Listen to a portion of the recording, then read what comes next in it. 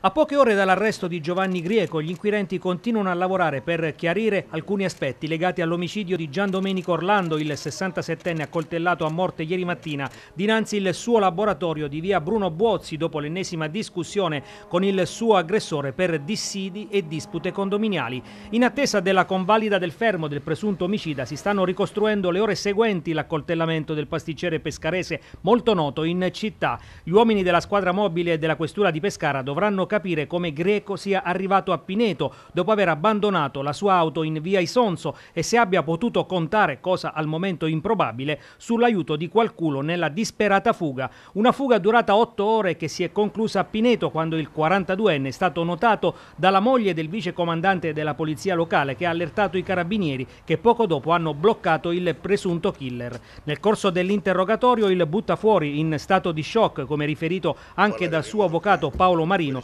non è riuscito a spiegare il perché dell'accaduto, avendo appreso solo successivamente che il pasticcere era deceduto. Subito dopo si è avvalso della facoltà di non rispondere. Si è avvalso della facoltà di non rispondere anche perché è in un eh, forte stato confusionale, quindi non è in grado neanche di rispondere, in quanto non sapeva che il, la vittima era deceduta, non era a conoscenza, è venuto a conoscenza adesso. Non si è reso conto di aver ucciso? No, assolutamente no. Il questore di Pescara Paolo Passamonti, arrivato a Pineto subito dopo la cattura del 42enne, ha sottolineato l'importante sinergia tra le forze dell'ordine per la cattura del 42enne. L'avete rintracciato come?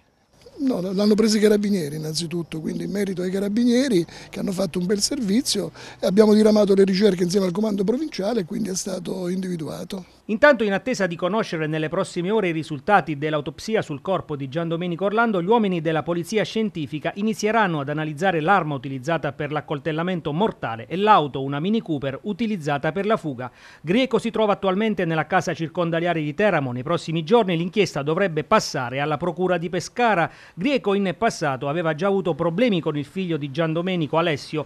I dissidi duravano da tempo e il 42enne aveva in casa un macete, quattro pugnali, una catena scatena uno sfollagente, elementi questi che potrebbero aggravare la sua posizione.